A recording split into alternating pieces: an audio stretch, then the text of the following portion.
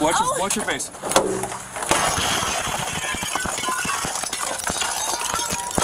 Right here, baby. Right.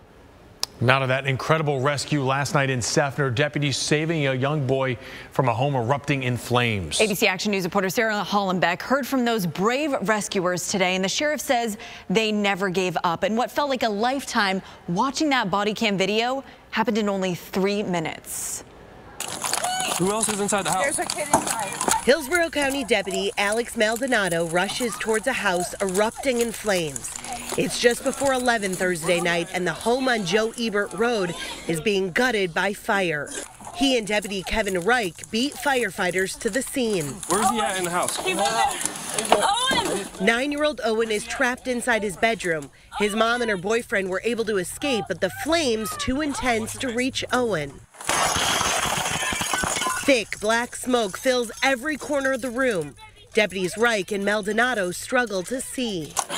Can't see what's in there. They try to direct Owen towards their flashlights. Where are you at, bud? Three minutes later, Deputy Reich Come feels here. Owen's Reach out to arm. us. Keep coming.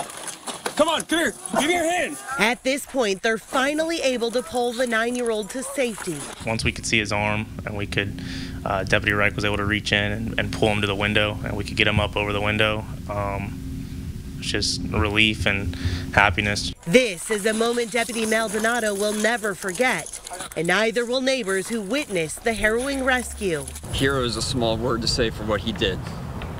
The guy is, he's, aw- he's awesome.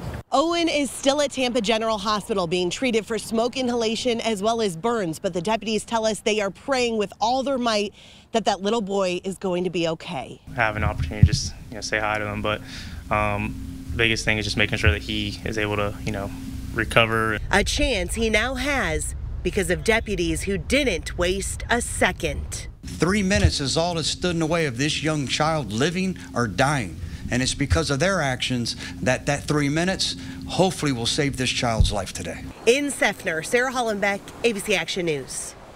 And just moments ago, we heard from the boys' parents who say they are eternally grateful to those heroes. I don't know. I, I'm I'm just so grateful. You know, and the reason I wanted to you know, encourage her and myself to speak to the media today because, you know, you know, heroes need to be recognized. Like these guys were heroes. if it wasn't for them, my son would be dead. It was like within minutes he was gonna be. He wouldn't have made it.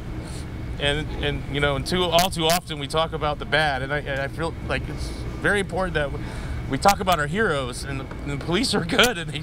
They, you know, they, they saved our son's life, and, and I'm, I'm so grateful.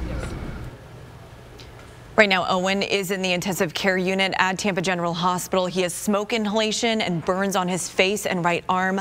We'll keep you updated on his condition. We are all thinking of that family right now.